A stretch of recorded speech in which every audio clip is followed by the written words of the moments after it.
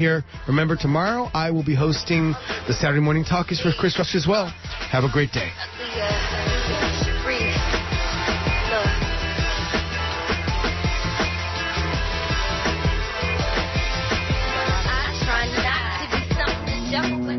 Hey everyone, this is Mitch Jeserich with Letters and Politics. Hope you are doing well at the end of the year and have a great idea for the beginning of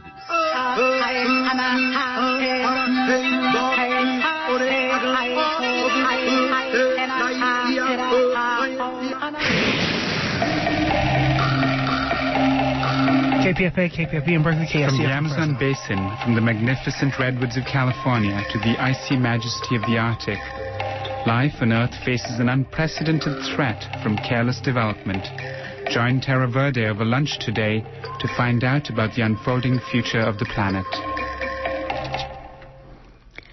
Welcome to today's edition of Terra Verde, a weekly environment program on KPFA and KPFB in Berkeley and KFCF in Fresno. I'm your host, Nell Greenberg, here with my co-conspirator, Jason Mark. Tis the season for top 10 lists. The year end holidays come with all sorts of traditions, among them magazines and websites' top 10 lists of the year that was. In that spirit of looking back, today on Terra Verde, we'll be recalling some of the biggest environmental stories of 2013. From Yosemite's rimfire to Typhoon Haiyan, from a GMO labeling ballot initiative in Washington state to President Obama's first speech dedicated to climate change, what were some of the events of 2013 that will have an impact beyond this calendar year? To reflect on 2013's top and untold stories, we have three prominent environmental reporters. Bryan Walsh is the international senior editor and green blogger for Time magazine. Kiera Butler is the senior editor at Mother Jones, and Steve Hawk is the executive editor of Senior of Sierra magazine, published by the Sierra Club. Welcome to Terra Verde. Hi. Thank you. So, Bryan, why don't we start with you? You recently put out your list of top 10 environmental stories. And before we get into what those stories are, I'm curious how you even created that list. Well, you know, I would go back and I'd look at the stories that I wrote about over the course of the year. I mean, we have a, a blog, a, a, and it's called Ecocentric on the website. So that's you know, you're producing like a story a day, sometimes more often throughout the year. So you just kind of, I, I just actually looked into, well, what was I writing over and over again? And then I just sort of took a look through the news as well, talked to some people to get a sense as to what really, over the last year, seemed to be most important, seemed to be most influential in environmentalism and energy as well. And that's how we came up with it. But of course, every top 10 list is kind of a, a bit of a, a mishmash or what you personally think is important too. So, what were some of the things you thought were important? Sure. I mean, you had mentioned, I think, the, the genetically modified food movement. You know, we had, um, you know, last year California, 2012, this year Washington, uh, you know, anti-GMO activists really getting these labeling initiatives on the ballot, although it didn't work in Washington this year as well. To me, was just sort of a sign that you know this, this the food movement it, it does have political strength. Has chosen to use it on this issue, and I think you'll see that come again and again. You saw, you know, the, the really rapid growth of rooftop solar, which I think is very important. You saw you know, a story that actually has been there for several years in the Keystone XL pipeline. Um, you know, and, and you're in California, we saw the, the, you know, the launch of a cap and trade system of this, for the state, which I thought was, was quite important, even though it's not something that got a lot of coverage just because you know, this is one of the biggest economies by itself in the world. We'll see over the next number of years how uh, uh, sort of a carbon cap system works for California. I think that has a lot to do, or that will say a lot for the rest of the U.S. and the world as well. And, and Kiera Butler, so you're the one of the senior editors there at Mother Jones. I know one of your specialties is the environment. Um, what did you think were some of the biggest stories uh, in 2013? Well, there are so many to choose from. Um, one giant story was the IPCC report. Um, when we heard that 95% um, certainty has now been established that humans are causing uh, climate change. Um, another big story from that report was uh, something that skeptics seized on, which was this idea of the global warming pause. Um, and it was something that was uh, reported in um, a lot of media outlets as evidence that climate change was not happening. But um, as it turned out, uh, scientists were pretty um, positive that uh, the that was not the case, that, that that had been misreported. So I would say that was, um, to my mind, the biggest story. And Steve Hawk, you're one of the editors there at Sierra Magazine, published by the Sierra Club. What, what do you think are some of the stories that, that are really going to have a lasting impact beyond this calendar year? Um, well, me, the biggest one is the fact that uh, the United States has really um, turned away from coal, and it's actually uh, I tend to think more optimistically, and I think that we've seen some uh, kind of the birth of optimism in the environmental movement this year. You know, our carbon emissions have been rolled back to 1992 levels. That's partly because of what's happening with fracking and uh, the cost of natural gas going down. But you know, the um, the Sierra Club and other organizations have uh, gotten um, have been able to shut down or have promised to shut down 158 coal-fired power plants in the U.S. And that industry is basically um, in a in a permanent downward death spiral right now. I think. To me, that's the biggest story because that's the one that's going to really last. And Steve, I know that you guys have also put out a piece about um, the top good news, sort of clean energy stories for 2013. Can you? I know that Bryan sort of talked about rooftop solar, cap and trade in California. What else are we seeing that we can be happy about? Well, you know, um, California is um, uh, has a renewable energy standard and is expected to get a third of its energy from renewable sources by 2020, and most people actually think that's going to be uh, 40% by then. Um, and to me, one of the biggest things that's happened is there's been we, we're reaching a tipping point where the cost of solar and wind, particularly solar in the sunnier states, is now competitive with uh, dirty energy, with fossil fuel energy. And once that happens and the market takes over, um, the acceleration could be beyond what anybody really is able to predict or imagine at this point. You know, Kiera, I one of the biggest political stories of the year, just regards to the environment, was certainly the government shutdown in October. Um, I think lasted what 17 days. Um, I'm wondering, you know, how did the government shutdown also have some kind of ripple and, and knock-on effects um, on the environment? There were some environmental dimensions to that story that got some attention, right? Uh, that's right. So one of the big um, pieces of fallout from that was the fact that um, research in the Antarctic actually. Uh, some of the projects that were supposed to start during that time, because that's actually a really key time during the, those fall months of September and October, um, they didn't get to start those projects, um, and they actually that set them back enormously. And some of the most important research that's done today on climate is done down there. So I think we're going to be seeing, um, you know, less research coming out of there as a result of the shutdown. Interesting. So I wonder if what you would say, Kiera, just as a follow up, how would you assess the Obama administration in 2013 when it comes to the environment?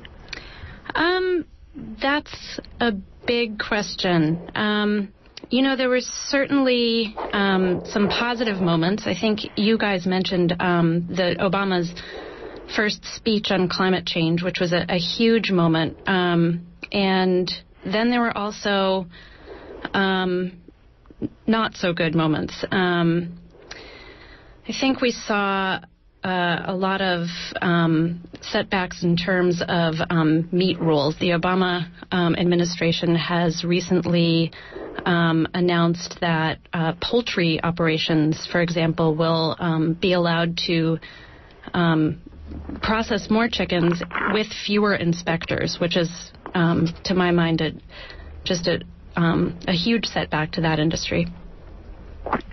And Bryan, what about you? How would you assess the environmental the environmental decisions of the Obama administration this year?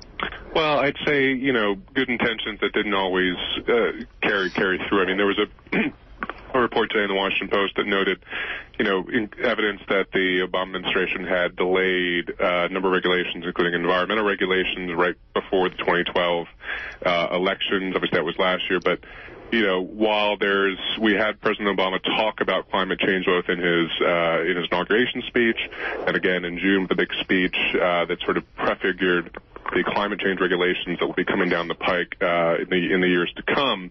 At the same time, it, it, it never felt like a, a priority, really. I mean, obviously, there, you know, the, the, the government's under a lot of uh, a lot of stress, a lot of pressure. We had the shutdown, uh, which is going to do a lot of damage, I think, for energy as well.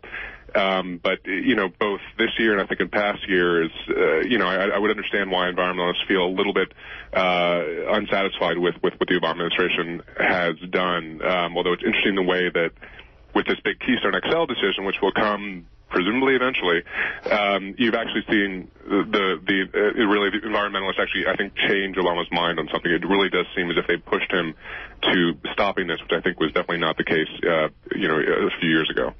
Yeah, I think that's an interesting part about what the big sto- what were the big stories of the year. You know, some of them are because of events like weather events. Some of them are because of decisions the administration makes. But some of the biggest stories come from the environmental movement itself. And would you say that Keystone is the sort of clear, shining story of 2014 when, or 2013 when it comes to the environmental movement? I think so. You know, I mean, obviously it's entirely possible that he could decide to let it go forward. It just seems more and more that that's not the way the signs are, are looking. And this is really something you can chalk up, you know, I think to 350.org, which has really made this a, a key issue. Bill McKibben has made this a key issue, and it, it shows that, you know, I mean, it, climate change and really, especially climate change, I think, is a very difficult uh, issue to, in some ways, mobilize action on because it is so diffuse. There's no one decision you can sort of point to and say, well, if we just do this, then we'll fix the problem. So that's always been a bit of a, a bit of a challenge, I think, for for activists. But here, you know, whatever you think of Keystone, they've they've been very good at picking a very discrete issue, really pushing it out there, and I think ultimately affecting some political change along the way. And Steve, from your vantage point there within the Sierra Club, what do you think are some of the biggest, I guess you could sort of say social movement, but the sort of environmentalist grassroots stories of the year? You did mention um, the coal plants, but but anything else that comes to mind? Yeah, well, I think that uh, certainly in it's the grassroots movements that are going to, in many ways, be the the front lines for a lot of these things. Um, you know, Keystone was largely, even though the jury's still out on that, um, it was the the rally that they had in Washington where Bill McKibben and Michael Club and many others got arrested on the steps of the of the White House. But beyond that, from a grassroots perspective, you know the the fracking bans that have been imposed by cities throughout Colorado, when the state is even though the state's threatening to sue the cities because the state is pro fracking, and then up in uh, Washington State, you've got these choke points for all the coal that's um, being dug out of the ground in the Powder River Basin in Montana and Wyoming, and being shipped, uh, being shipped by rail car to the west coast, and they're going to try to ship it off to China and Asia. It's the it's the local governments in in Bellingham and, and in Washington State and Oregon that are going to create the choke points for that and possibly um, shut down that those exports.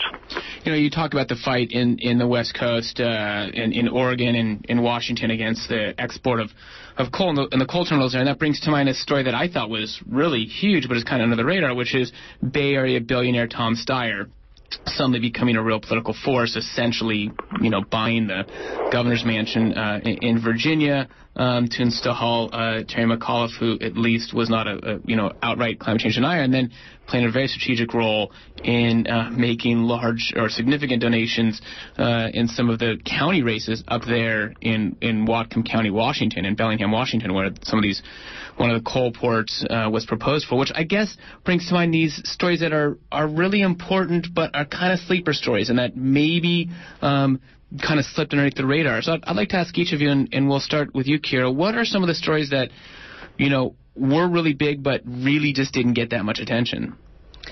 Um, well, you know, in a way, um, one of the really big stories of the year was um, the uh, increasing um, extreme weather events. You know, we had um, the Yosemite Rim fire and um, we had the typhoon Haiyan in the Philippines. Um, and all of these are really uh, part of a larger pattern that um, there's more and more scientific research coming together um, showing that these things really are um, part of a larger pattern and, and um, becoming more frequent and more intense.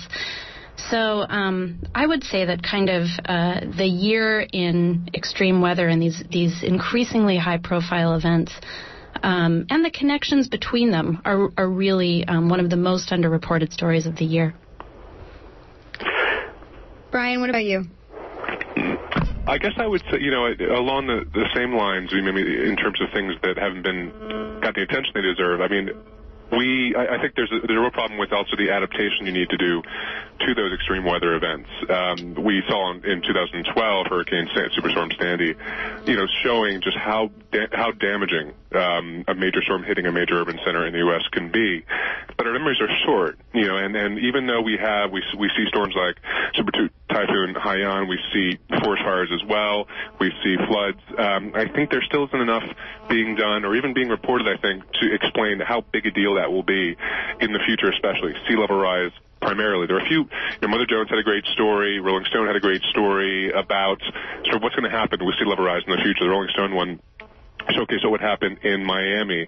And I think we need more of that because, you know, you're talking about cities being essentially destroyed and you have a lot of infrastructure being built now. If you don't change that before that happens, you know, you're facing uh, billions and billions and billions of dollars worth of damages in the future. You know, it's interesting because this is Steve. Um, I, I, I agree with you both on that, but it, I sometimes find that that is the trickiest story to tell because it's so hard to to to show a direct connection between climate change and, say, the, the extreme weather conditions, uh, storms like Superstorm Sandy. Um, and I think that also it, it's the, in some ways, kind of the least effective argument because the, the climate change deniers seize on that so um, with with ferocity and I think with some effectiveness. Um, I'd like to hear what you guys think about that. I mean, I can say, you know, I think that, that's definitely true, and it, it is tricky. I mean, it is very tricky, especially to ever connect individual weather events now happening today to the, the amount of warming we've already put into the at, into the atmosphere.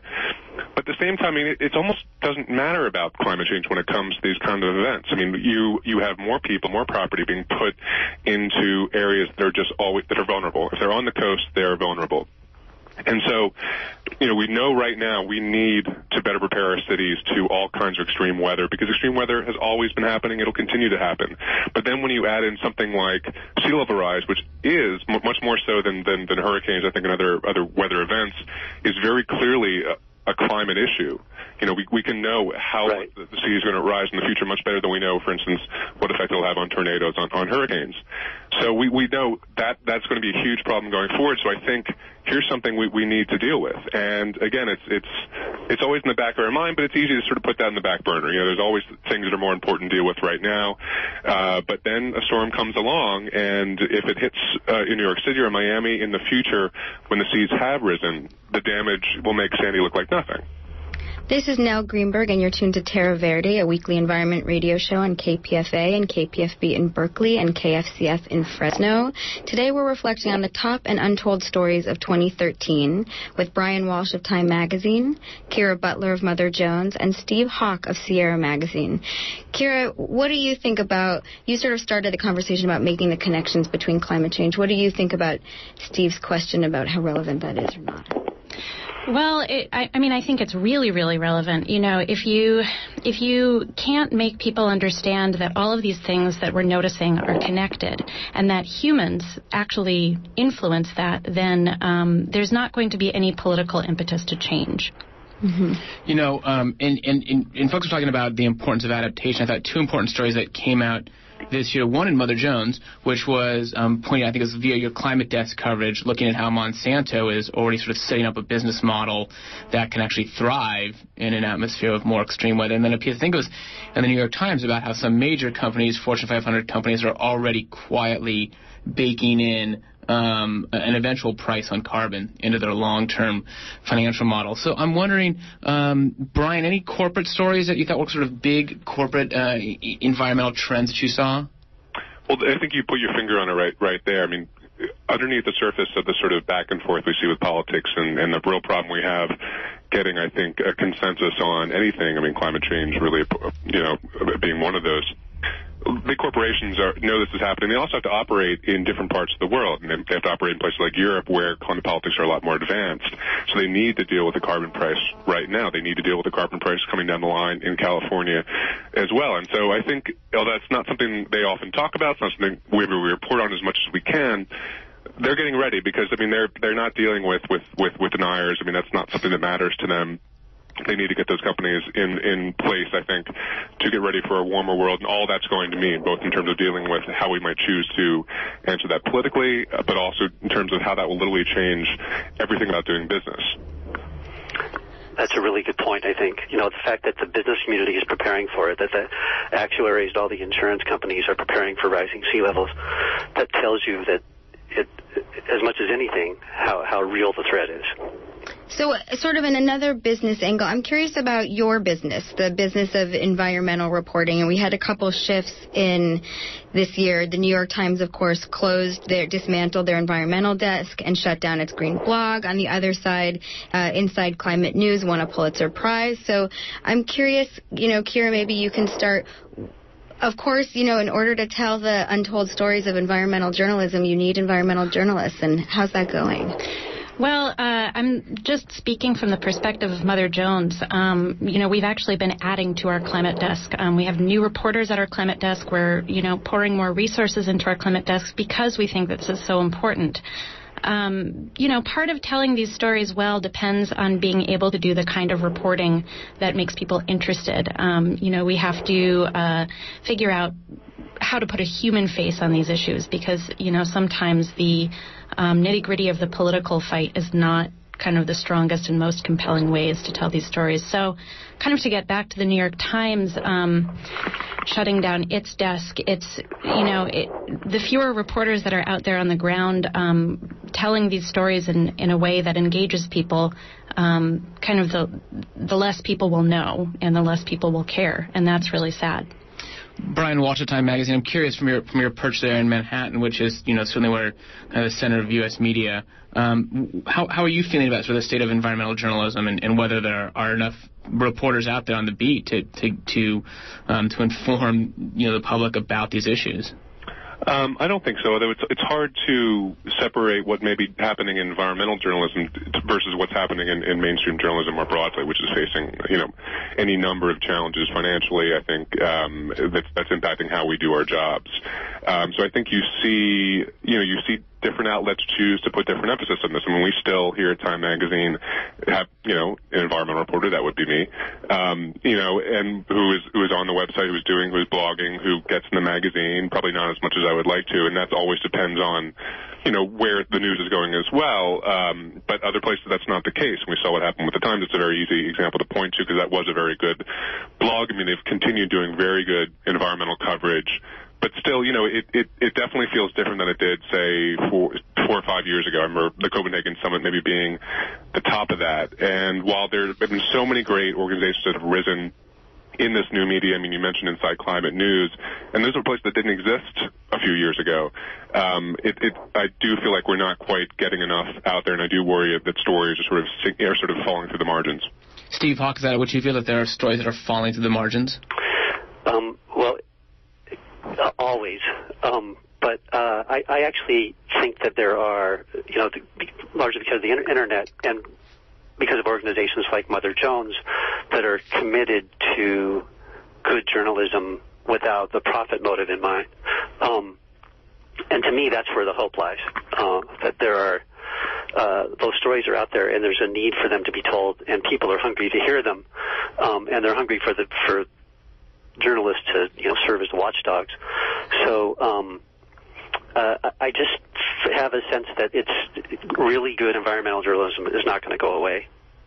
And I'm, you know, there's the stories that you all think are interesting and that you want to report on, but in the age of the internet, we can actually see what our audiences think are interesting. And Kiera, I know that Mother Jones does a lot of audience tracking. So, what were the stories that your audience actually sort of chimed in the most on or showed the most interest in?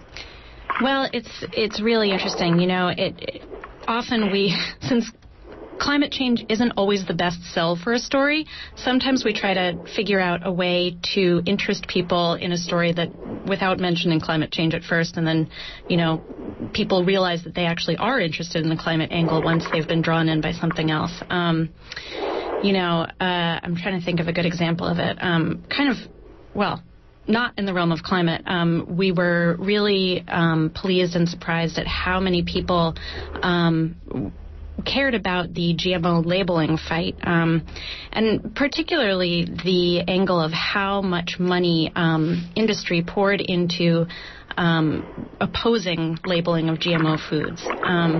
You know, that was a story that we considered uh, at first to be sort of inside baseball, but people just were, you know, outraged at this, which was kind of fun to see. Mm-hmm. And so this is we've been talking about the year that was. I'd like to take a little bit of time to sort of uh, uh, you know look in our crystal balls, however hazy they might be, and, and and sort of tell us what you think might be some of the, the, the headlines we can expect in in in 2014. What are the big issues that you're tracking and keeping an eye on? So so Steve Hawk, what are some of the issues there at Sierra Magazine that you all are already you know basing your editorial calendar um, around? Well, I, I, I can couple that a little bit with uh, what, what Kiera just said, which is, you know, we, our our surveys are showing us that um, our our members, our readers, are uh, they've got the message that climate change is happening and that dirty energy is bad. Um, so they actually want to know what are we going to do about it? How are we going to fix it? What are the solutions? So we're going to be doing a lot more on the solution side of things. But I think we're also, to me, one of the great untold stories is um, what's going on with the American Legislative Exchange Council, ALEC, and their attempts to roll back renewable energy standards, to label people who have rooftop solar as free riders on the utilities, um, to promote uh, um, extraction of fossil fuels on public lands, to fight emission caps. Um, and that is basically the oil and gas industry. And uh, that story to me really needs to be told loudly. Bryan, real quickly, what are some of the the stories that you're going to be tracking in 2014?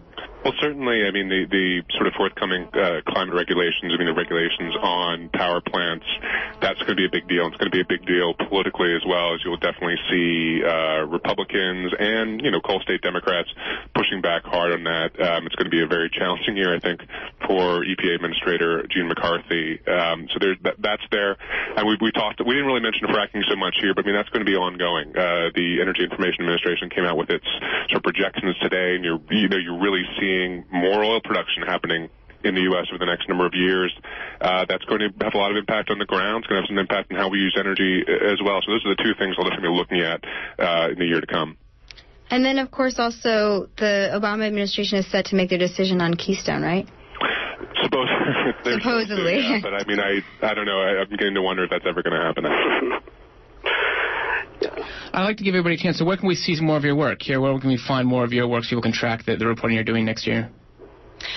Well, in terms of stories for 2014, um, I think that um, we're doing a lot on meat and um, in the coming year, and uh, we'll be looking at um, antibiotics. That's a big ongoing fight.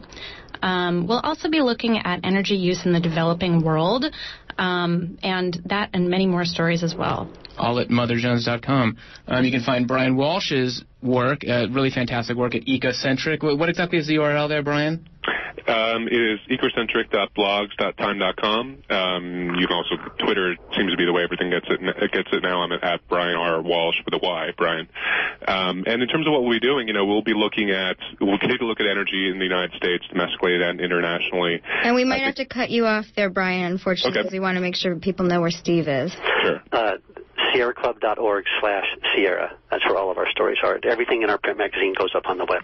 Fantastic. Well, I really want to thank Kiera Butler for, for Mother Jones, Bryan Walsh from Time Magazine, and Steve Hawk uh, from Sierra Magazine. Thanks as always to our engineer, Michael Yoshida. This show and others are available at kpfa.org. For your convenience, you can download the podcast. Have a great weekend and have a happy New Year's. Thank you. Thank you. Thanks.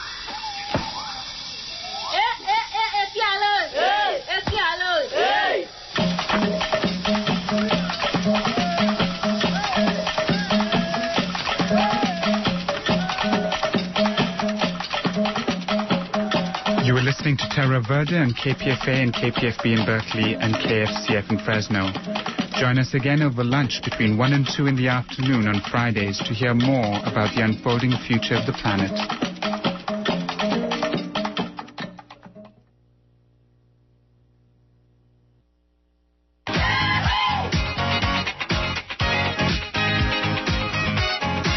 Margaret Gomez, and I'll be headlining Brava's New Year's Eve Comedy Fiesta taking place this year on Tuesday, December 31st, 9 p.m. We'll be laughing and raising funds to benefit Brava for Women in the Arts, presenting work by women, people of color, and lesbian artists. You can reserve seats now at brava.org. This year's show will feature progressive comedians Dhaya Lakshminarayanan, Misha Mosley, Mario Montez, and me, Margaret Gomez. And there's an after-show countdown party, free midnight champagne, and DJ Mark Mark, all walking distance from 24th Street Bar in San Francisco with accessibility. That's Brava's New Year's Eve Comedy Fiesta. You can reserve your seats now. Information at www.brava.org or call